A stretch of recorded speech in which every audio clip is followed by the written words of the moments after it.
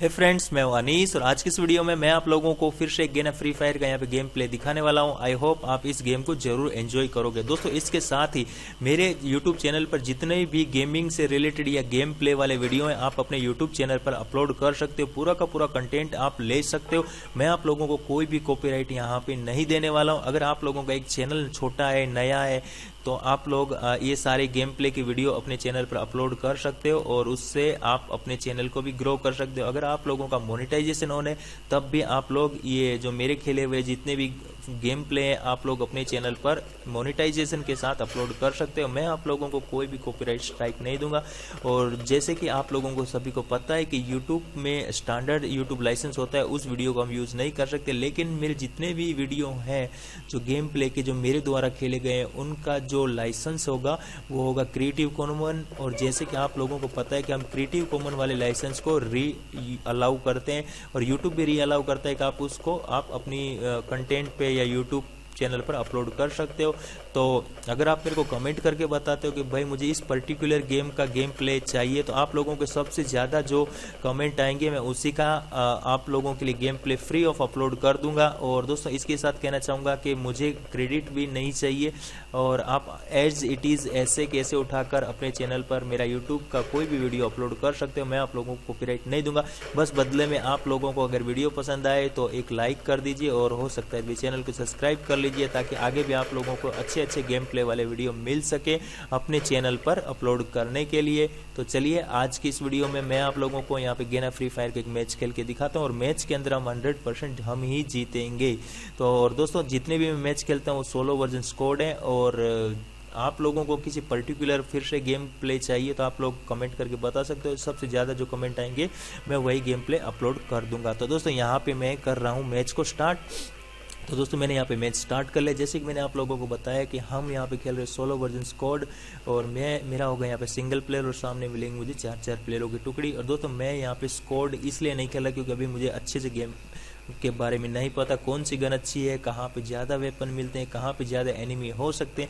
लेकिन इस गेम को मैं जब भी खेलता हूँ, जीतता मैं ही हूँ, इस चीज़ का मैं आप लोगों को दावा कर सकता हूँ। और दोस्तों, आज के ये जो मैच स्टार्ट किया है, इस मैच के अंदर भी हंड्रेड मैं ही जीतूँगा, ठीक है? तो अभी तो मैं बालकनी में आ चुका हूँ और यहाँ पे तेरह चौदह सेकेंड बची हुई हमारा एयरक्राफ्ट अभी आया नहीं है। तो और बाकी सारे प्लेयर हमारे साथ जुड़ते जा रहे हैं। और दोस्तों, अभी कुछ ही सेकंड में हमारे यहाँ पे एयरक्राफ्ट आ जाएगा। तो यहाँ पे तीन, दो और ये एक और ये बुम। तो दोस्तों, अब यहाँ पे हम चलेंगे एयरक्राफ्ट पे और देखते हैं हम मैप में कहाँ पे उतरेंगे और एयरक्राफ्ट हमारा किस डायरेक्शन से उड़ रहा है। तो वो मैच आने के बाद हमें पता चल जाएगा। तो देख सकते हो दोस्तों तो ये मैंने यहाँ पे मैप ओपन कर लिया और मुझे ये नहीं पता कि कौन सी जगह अच्छी है, कौन सी बुरी है। तो बस मैं अपनी मर्ज़ी से उतर रहा हूँ, क्योंकि दोस्तों मैं कॉर्नर पे इसलिए उतर रहा हूँ कि मेरा मानना ये है कि यहाँ से मैं वेपन्स कलेक्ट करूँगा और यहाँ से कुछ दुश्मनों को किल करते हुए मैं यहाँ से आगे बढ़ूँगा सर्कल की तरफ़। और जिससे मुझे एक अच्छी ग्रोथ मिल सके किल की, क्योंकि अगर उतरते ही मुझे चार से पाँच किल मिल जाते हैं ठीक है तो फिर एंड तक चार पाँच किल और करके दस बारह किल ऐसे हो जाएँगे। तो यहाँ पे मैं, दोस्तों, अभी मेरा पैरासूट ओपन हुआ नहीं है और मैं तेज़ी की ओर से नीचे उतरा और दोस्तों, मैं हर बार की तरह आप लोगों को कहना चाहूँगा कि जो भी सर्वाइवल गेम होता है, उसके अंदर सबसे पहले उतरना काफ़ी इम्पोर्टेंट होता है। और जब भी आपका जब पैरासूट ओपन हो जाए तो आपका जो अंगूठे से जो, जिस कर्सर है जो इसको हम प्लेयर को लेफ़्ट राइट मूव कराते हैं, उसको आप लोगों को लेफ़्ट से राइट मूव कराना है कंटिन्यू ताकि आपका प्लेयर जल्दी से नीचे उतर सके और ये वेपन्स वगैरह ले सके। तो मुझे ये यहाँ पे कुछ वेपन मिल गए हैं।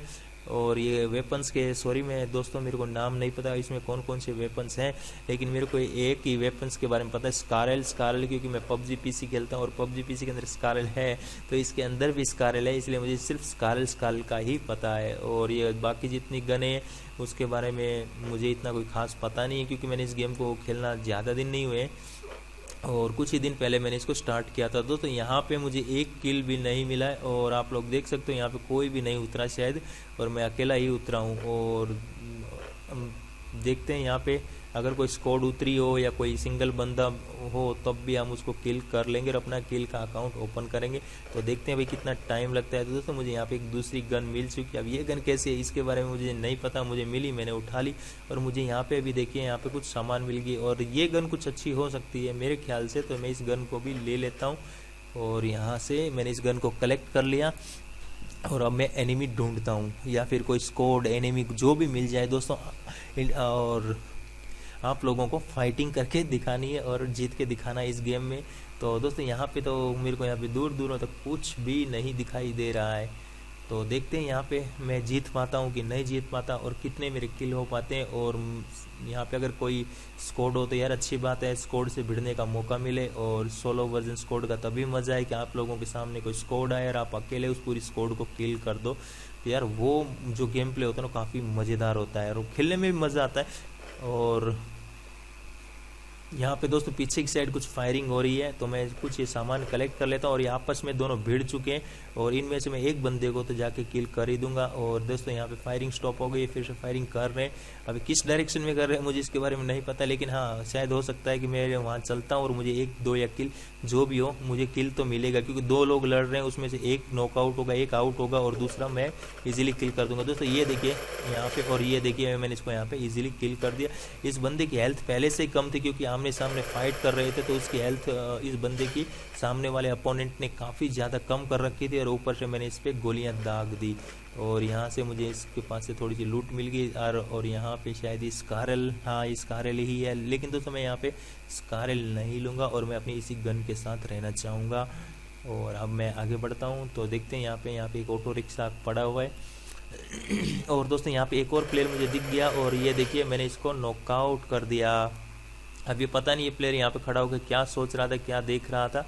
और इतने में मैंने इसको नॉकआउट किया फिर इसको मैंने बिल्कुल ही आउट कर दिया और यहाँ पे मैंने दोनों कैरेट ओपन कर लिए, लेकिन इन कैरेट में मुझे कुछ खास नहीं मिला। और ख़ास मिल जाएगा तो भी उस चीज़ के बारे में ओबियसली मेरे को पता नहीं है कि क्या खास है, क्या नहीं है। मुझे जो मिल रहा है, मैं बस, जैसे कि कोई गन के भी मैं अभी कोई पर्टिकुलर मेरी इस गेम के अंदर चॉइस नहीं है। और मुझे जो गन मिल रही है, मैं वही उठा के चलानी शुरू कर देता हूँ। और इसके अंदर सारी गन मेरे ख्याल से अच्छी हैं। शॉर्ट गन भी अच्छी है लॉन्ग गन भी अच्छी है स्नाइपर भी इसके अंदर अच्छी है। और सब एकदम अच्छी अच्छी गन है बस एनिमी अच्छे नहीं है। एनिमी मतलब एक दो एक दो ही मिलते हैं। अभी देख सकते हो तो मेरे पास यहाँ पे दो किलो हो चुके हैं और मैं आगे बढ़ रहा हूँ कंटिन्यू तो मैं दौड़ते ही जा रहा हूँ, देखते हैं यहाँ पे मुझे आगे की साइड कोई एनिमी मिल जाए।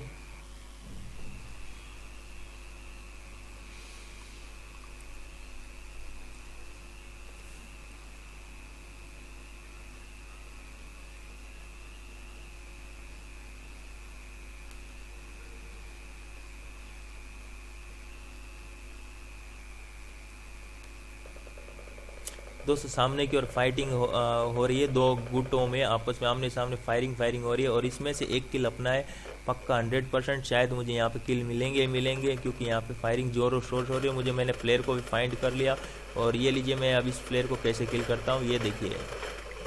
सिंगल टैप टैप करके मैं चला रहा हूँ और मुझे ये नहीं पता कि ये ऑटो में चलेगी कि नहीं चलेगी लेकिन मैं ये ये सामने वाला प्लेयर दौड़ रहा है और ये देखिए दोस्तों मैं इसको यहाँ पे अभी नॉकआउट कर देता हूँ।